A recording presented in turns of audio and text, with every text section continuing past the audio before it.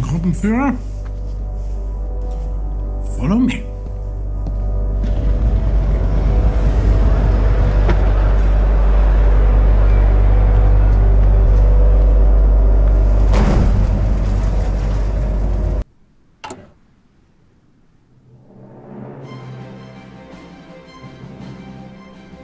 Aber unser geliebter Führer Adolf Hitler wurde nicht durch eine ausländische Macht ermordet, sondern von Verrätern aus unserer Mitte.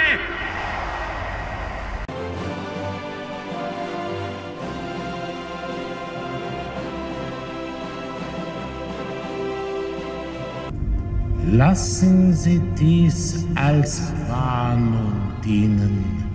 Für jeden, der sich uns entgegenstellt, von außen oder von innen.